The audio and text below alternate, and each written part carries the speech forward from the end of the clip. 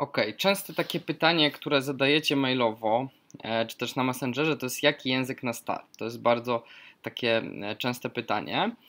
E, I teraz, żeby sobie odpowiedzieć na to pytanie, dobrze jakby zdać sobie sprawę, jak, jakie są umiejętności tak naprawdę potrzebne do tego, żeby być programistą. Ja tutaj taki wachlarz umiejętności backend dewelopera, który robi aplikacje na przykład w Javie, na przykład aplikacje E, w C-Sharpie, w Rubim, ale e, no, nakierunkowane na tworzenie stron internetowych. E, ja tutaj widzę, że jeszcze jednej rzeczy zapomniałem tutaj wypisać, za chwilę dopowiem. Więc takie umiejętności to jest właśnie Git. Jest to taki Dropbox dla programistów, więc trzeba go znać, żeby być programistą. Bez tego nie jesteśmy w stanie zostać programistami. Bazy danych to jest taki twór, który służy do przechowywania E, informacji, więc takie przykładowe bazy danych to na przykład MySQL, e, Postgres i Oracle na przykład. I teraz HTML, CSS, jQuery. I teraz jeśli jesteście e, tak zwanym backend developerem Java na przykład, to nie musicie może biegle znać HTML-a, CSS-a, ale na, przynajmniej na takim podstawowym, e, podstawowym, e, podstawowych umiejętnościach. Najprawdopodobniej też tutaj napisałem jQuery, ale też i JavaScript, chociaż w minimalnym stopniu. Natomiast trend jest taki też, że e, znowu znowu jest pójście w stronę full stack developera, czyli żeby znać e, Java i JavaScript od razu za jednym zamachem. I czy to jest przypadkowy jakby trend? Nie jest to przypadkowy trend, ponieważ firma Microsoft stworzyła e, TypeScript i jej założeniem było to, żeby osoby właśnie, które piszą w backendzie w łatwiejszy sposób niż wcześniej mogły się nauczyć JavaScriptu. Więc teraz na tą chwilę w najnowszym wydaniu JavaScriptu z TypeScriptem e, JavaScript jest bardzo podobny do Java czy do C Sharpa, więc znowu tak naprawdę to, co jakoś tam w internecie możecie czytać, już jest dawno nieaktualne. No i teraz to, co trzeba znać, czyli język programowania, czyli jest to są zmienne, pętle, tablice, e, metody programowania obiektowe. Kolejna rzecz jest taka, to jest umiejętność pisania testów, czyli takie testy, właśnie przykładowe testy jednostkowe, też, też na tą chwilę wszystkie języki programowania e, używają. E, I znajomość wzorców projektowych. To są takie rozwiązania, e, które mówią w jaki sposób roz, y, podchodzić do pewnych problemów z programowania obiektowego. I teraz to, co jest ważne, i teraz to, co jeszcze nie, wy, nie wymieniłem, to jest znajomość jakiegoś frameworku, na przykład Springa, y, czy też na przykład Ruby on Rails. To jeszcze jest jedna rzecz, która tutaj na tej prezentacji się nie zmieściła. I teraz to, co na czarno, czyli git, bazy danych, HTML, CSS, jQuery i wzorce projektowe, te rzeczy w ogóle nie są zależne od języka programowania. Yy, aczkolwiek no może być trochę tak, że jeszcze, jeszcze są odpowiednie wstawki HTML-a, trochę może jeszcze, y, je, jeszcze być dodatkowa rzecz przy, przy, danym, przy danym frameworku. I te rzeczy w ogóle nie są zależne od języka programowania. Czy będziecie, pójdziecie w stronę PHP, czy pójdziecie w stronę Java, czy w stronę Rubiego, to wszystko będziecie musieli umieć. Więc to jest jedna bardzo ważna rzecz, żeby zrozumieć, e, dlaczego czasami wybór na początku języka nie ma takiego wielkiego znaczenia. I teraz kolejna rzecz, że te rzeczy, czyli zmienne, pętle, tablicy, metody programowania obiektowe, to wszystko występuje we wszystkich tych językach komercyjnych, czyli właśnie w Javie, C Sharpie, PHP.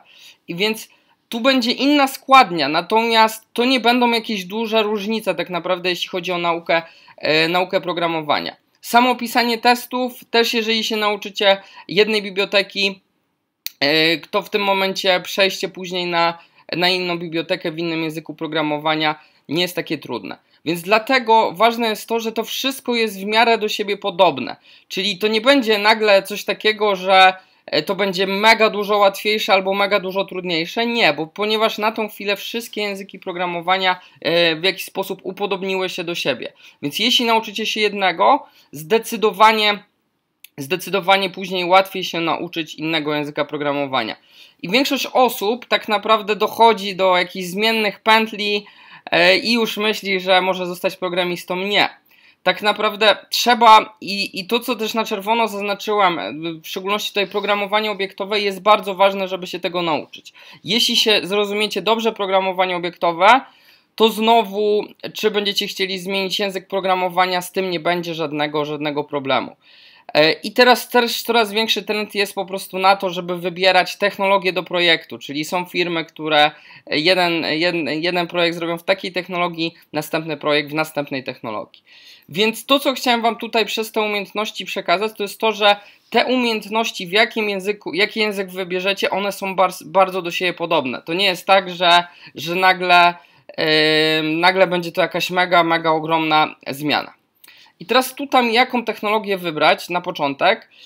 Yy, tutaj mamy takie właśnie badania i widzimy, że Java i JavaScript jest yy, Java, Java jest na języku na, na, yy, na pierwszym miejscu, JavaScript jest na, na drugim miejscu i na trzecim jest Python. I teraz co jest ważne, żeby zrozumieć, jeśli chodzi i znowu C Sharp też jest oczywiście bardzo popularny. Jeśli chodzi, byście sobie zobaczyli na ogłoszenia powiedzmy e, na, na serwisach związanych z pracą. Nie jest to może do końca miarodajne, ale byście zobaczyli, że w Javie faktycznie e, tych ofert pracy jest na tą chwilę najwięcej, w C Sharpie też jest tych ofert dużo. I teraz to, co jest ważne też, czasami osoby tego nie rozumieją, że powiedzmy widzimy, że Python jest też bardzo popularnym językiem, Ruby no trochę mniej popularnym językiem, w ostatnich latach na pewno spada PHP, więc co, co mnie trochę cieszy, szczerze mówiąc. Y, natomiast spada tych ofert pracy, naprawdę jest tej, tej pracy coraz mniej. Natomiast to, co ważne jest zrozumienie, jeśli chodzi o Pythona czy Rubiego, to jest to, że on jest bardzo często używany jako drugi język programowania. Czyli jeżeli sobie może wpiszecie Python, jeśli chodzi o ogłoszenia o ofertę o pracę, to jest to, jest dużo tych ogłoszeń o pracę, ale nie jako pierwszy język. Czyli dobrze jest znać Pythona, Rubiego jako drugi język programowania, który często na przykład przy skryptach e, będziecie wykorzystywać. Natomiast znowu z samych ofert pracy, jak sobie wpiszecie Django czy Ruby on Rails, to jest zdecydowanie, zdecydowanie mniej. Ja mogę Wam powiedzieć, że przy tym projekcie, na którym ja obecnie pracuję, e, wykorzystywany jest Java, wykorzystywany jest Spring, wykorzystywany jest Ruby, Ruby on Rails, wykorzystywany jest HTML i JavaScript.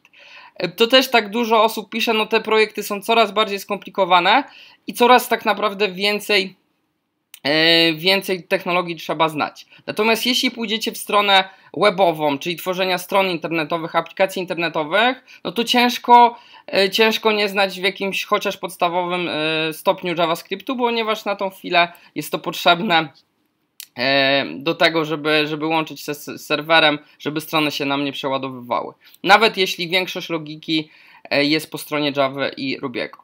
Ok, mam nadzieję, że Wam się to e, nagranie podobało, takie krótkie. Jeżeli będziecie chcieli więcej e, właśnie wideo, chcecie więcej nagrań, to dajcie lajka i w tym momencie przygotuję następne. Jeśli macie pytania, proszę e, o kontakt na maila michałmałpa.akademiakodu.pl